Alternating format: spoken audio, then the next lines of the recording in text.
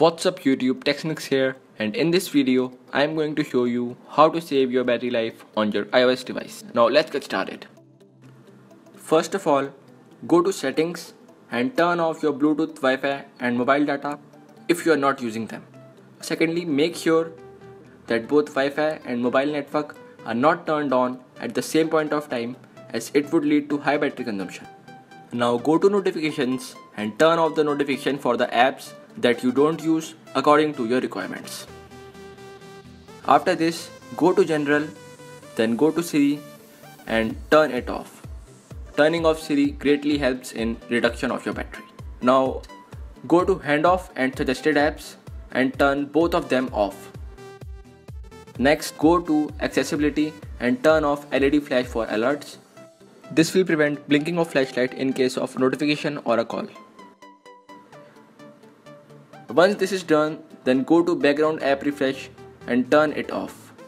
This would prevent apps from refreshing in the background and thereby reducing battery consumption. So once this is done, then go to auto lock and set it to 30 seconds.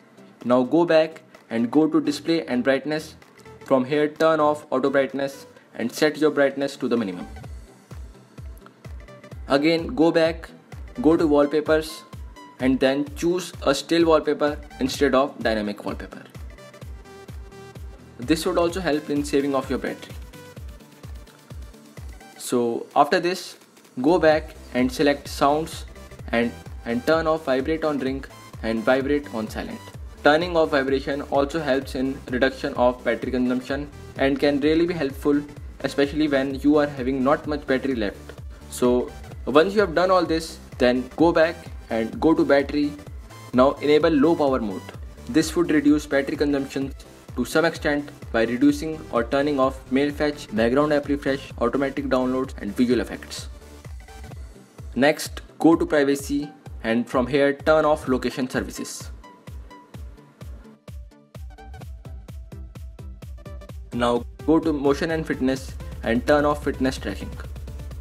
This will stop your iDevice from using battery for fitness tracking.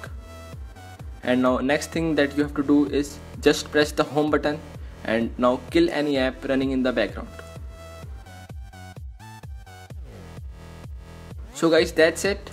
This will really help in reducing the battery consumption of your device. So guys I hope this video helped you and if this did then don't forget to press the thumbs button below and subscribe to my channel. Thank you.